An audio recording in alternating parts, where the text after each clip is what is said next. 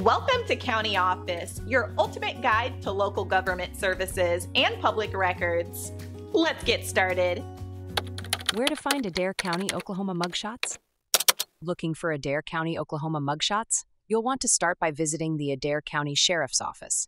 This is the primary law enforcement agency in the county.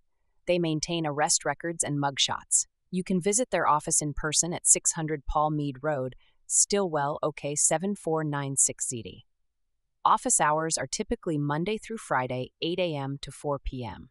If you prefer to call, the phone number is 918 696 2106. It's a good idea to call ahead to confirm availability.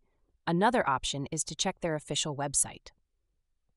Many sheriff's offices provide online databases for arrest records and mugshots.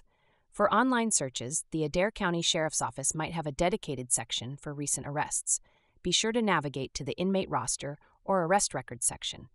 If you don't find what you need, you can submit a formal request for records. Under the Oklahoma Open Records Act, you have the right to request public records. You'll need to fill out a request form. Be specific about the information you need, such as the name of the person and the date of arrest. Another helpful resource is the Oklahoma Department of Corrections.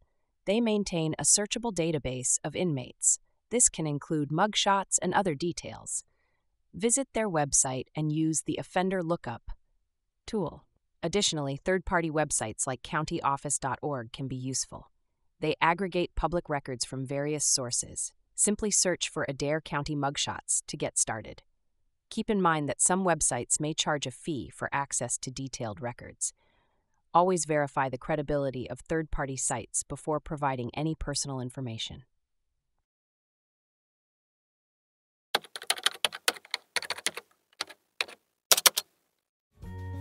To learn more, check out these links, which you can click in the description below. And feel free to comment your questions. We're here to help. Thanks for tuning into our video. Please like and subscribe and leave a comment below. See you in the next video.